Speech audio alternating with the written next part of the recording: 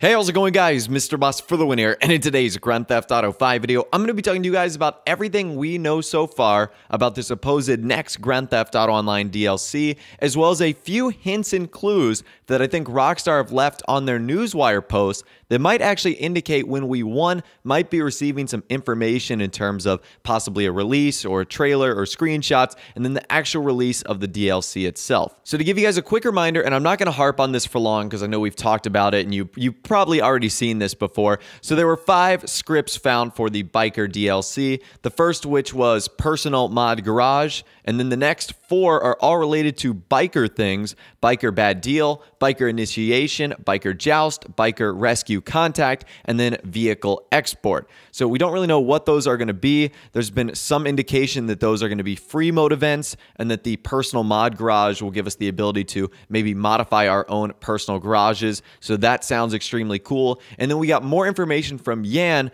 about two weeks ago, who stated that the next Grand Theft Auto Online update will be motorcycle theme. It's currently scheduled for August and will have a sixth property. So now that you know that information, let's move over to Rockstar's Newswire. And like I said, there have been many hints that you might not have even known about that could indicate when the next, I guess, available information or announcement or even possible release of this update could happen. So on June 16th, 2016, Rockstar announced the CEO Rockstar Editor Contest, which was basically Rockstar's way of trying to do some of the cool finance and felony stuff. You could create a cool piece of cinematography or a short film or movie. Using the Rockstar Editor, you could win some pretty cool prizes. The entry for that is long closed it happened on July 18th, 2016.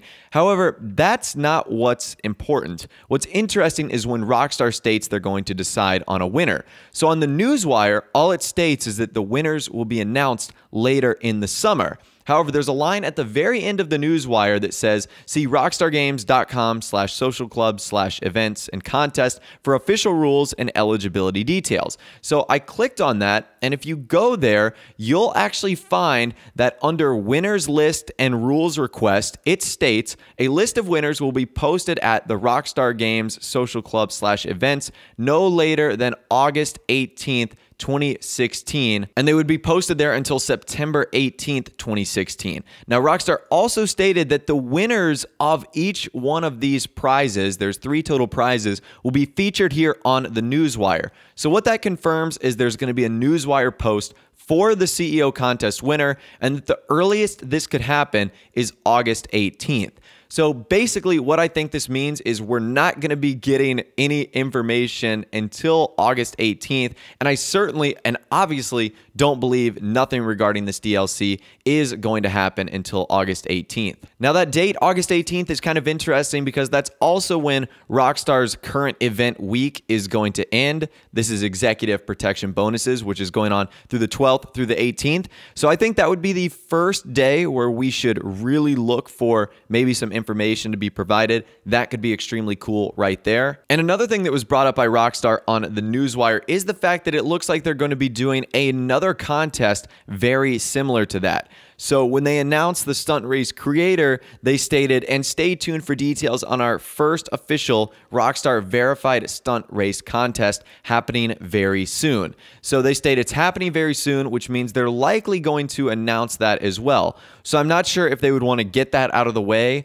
before the next DLC comes out or if Rockstar's totally cool with kind of, you know, intermingling those two contests because they announced the CEO contest and that was going kind of well into when Cunning Stunts come out. So I think that they have no problem with that but that is still going to be very interesting to see, you know, how Rockstar deal with these few contests, announcing the winners, and when that might have an impact on the August release. Now, we obviously don't know that the August release is official, but that's of course just what everyone is saying. However, time in August is slowly running out if you really think about it, and the likely days that Rockstar would announce this. They typically create DLCs on Tuesdays, and there's only three more Tuesdays left in August. You have the 16th, the 23rd, and the 30th. Now, that's kind of an interesting segue into what I want to talk about next. A few users on the GTA forums were talking about this. There's actually a very interesting holiday. It's not a major one at all, and we might be prepared to put our tinfoil hats on here.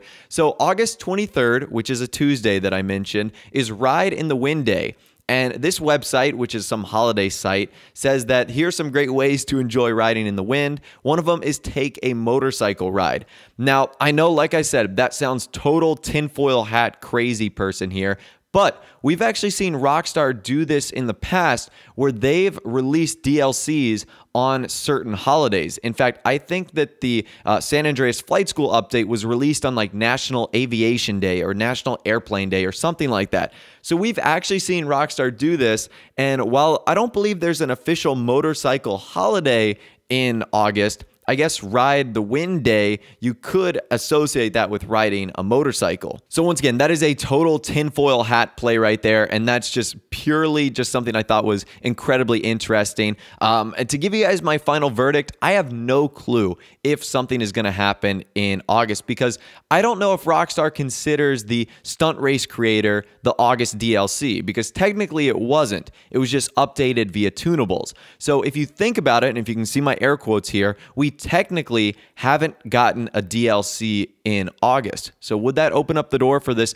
biker themed update? I think it might actually, but like I said, time is running out in August, so I don't really know what Rockstar is going to do and if they have enough time to uh, obviously get a trailer out, get an announcement out, because for the last few DLCs, which is what Rockstar have done, there's always been an announcement, there's always been information, a trailer. We saw that with Lowriders Customs Classics, Finance and Felony, the Cunning Stunts DLC. So I would imagine that this biker DLC would be no exception and they would be doing something very similar. But ultimately, I'd love to hear from you guys in the comment section down below. What do you think the release date is going to be of the next Grand Theft Auto Online DLC, the supposed biker one? And let me know what you think about some of my theories as well regarding some of the hidden information found on the Newswire and also some of the hidden things found on Rockstar's websites as well. Let me know what you think in the comment section down below. If you did go on to enjoy this video, however, though, a like rating would, of course, be awesome. And also, subscribe to my YouTube channel if you are new or you like daily GTA 5 videos like this. I've got a live stream coming up in a few hours, so stick around for that. We're going to be doing some awesome races here on the channel, so that should be a lot of fun.